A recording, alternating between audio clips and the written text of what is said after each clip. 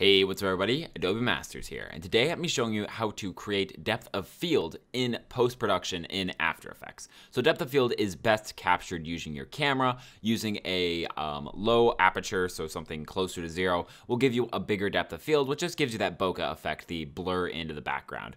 You can add it in post-production, and that's what I'm gonna be showing you. It's a little bit of a tedious process because you're gonna actually have to cut out your front element and recreate the blur behind it. However, it can be done. Also, another little disclaimer is this is a graphics intensive and a CPU intensive process. You're both having to rotoscope and blur, which are both um, CPU intensive within themselves. So when you add them together, it might get, you know, start slowing your computer down a little bit. So just keep that in mind. But this is the effect right here is if I go ahead and undo or click it on, you'll see that the background blurs like so. And if I uncheck it, um, it goes back to what it originally was shot at, which was basically an infinity focus where everything, even way back there, was in focus. So let's get started on this effect. What I'm gonna do is I'm actually gonna go ahead and create myself a new composition right here. I'm gonna name this one, uh, let's go depth of field, like so. And we want it to be a common, uh, you know, 1920 by 1080 p.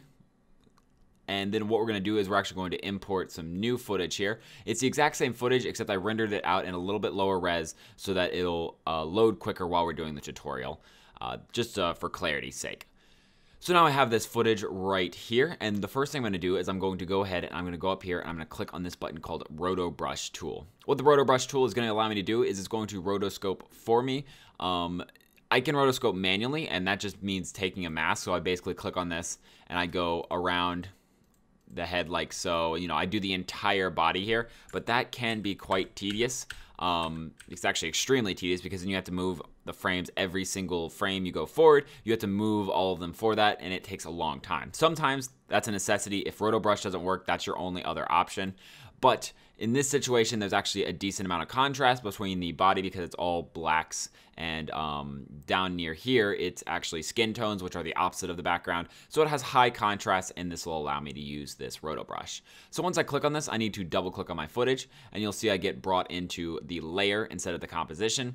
And now I have this little green pixel, uh, the little green circle. And basically what I'm gonna do is I'm just going to draw uh, a rough edge of what my roto brush should be looking out for.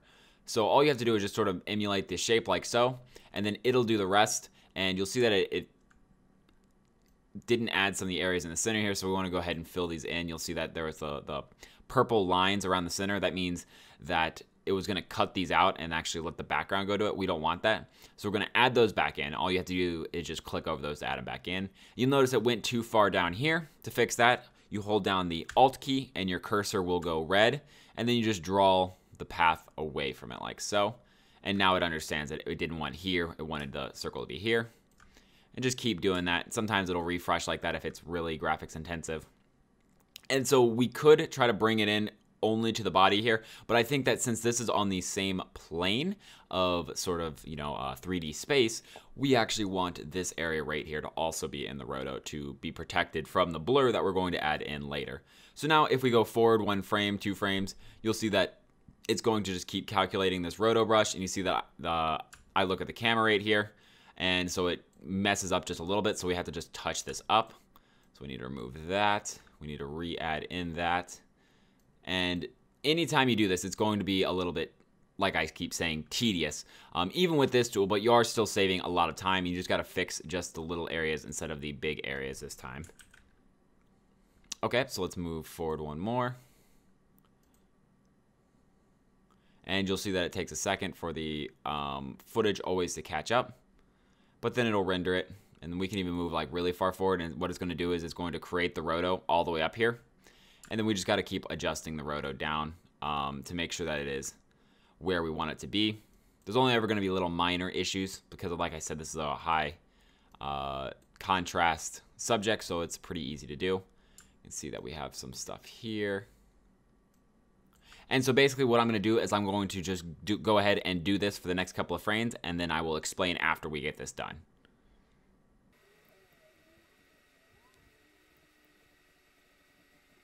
Alrighty, so we're coming to the end right here. And actually what was great is after we got those first couple frames done, it looks like it kept the track perfectly the whole time. So I didn't really have to do much else after that. The next thing I'm going to do is I'm going to actually add a ton of feather to this because blur is soft, so we don't need any harsh edges here. So I'm going to blur this out a little bit, the, uh, the feather, and that'll allow it to blur slightly in with the background. We want to then go back to the composition, and now we can kind of see what it has taken out. And you can also adjust the feather here to sort of see what it's going to do. And you see if I bring it up, it brings back some of the elements, and it also takes some of the elements away.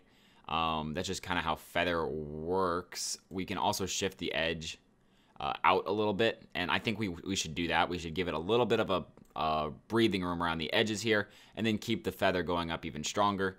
And this is going to allow it to blur, blend in with the background really well, which, like I said, we're using a blur here, so I think that looks the best. So now we have this going right here, and we have it uh, rotoed for this first like second. And so you'll see that it uh, I am perfectly cut out of the background. And now all we have to do is we're going to take this, we're just going to um, hit Control D to duplicate it.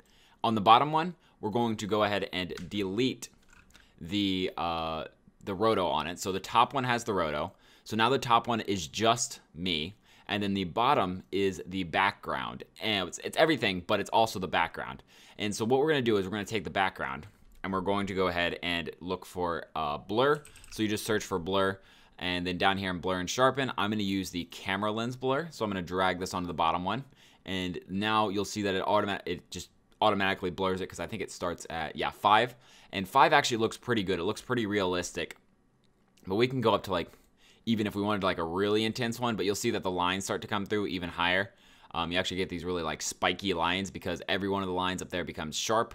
Uh, it's still sharp, so what we want to do is we want to back this up a little bit to maybe like five, five or six, and you can still see that there's lines up there. So what we're actually to do is we're to drop down the uh, shift edge some, and we're going to keep dropping it down until we like what it looks like. So let's drop it down more. And actually, in this situation, we might, yeah, want to drop it all the way down because you see, if it, even if it goes up a little bit, you start getting those spiky edges, and we don't want that. And all it is is from these um, lines that were that are not being blurred. So we might actually want to go the opposite direction here and go into the negatives where it cuts in a little bit. And the reason for that is because with the feather, it actually still looks fine. Um, because, like I said, the camera blur, it sort of is very soft, so you can get away with some of this stuff. And let's go back into the bottom one right here, and we have, I think the blur radius at 6 is looking good. And now you see we have added in some artificial depth of field right here. Um, and this is a time lapse, so that's why it's kind of a little choppy here. But that is how you add in basically any depth of field. Is all you have to do is you have to cut out the element that you want to stay in focus. So you can use the rotoscope tool or you can manually rotoscope yourself. Um, once you cut the person out or the object out, then you duplicate it and use the other one as a quote unquote clean plate on the bottom.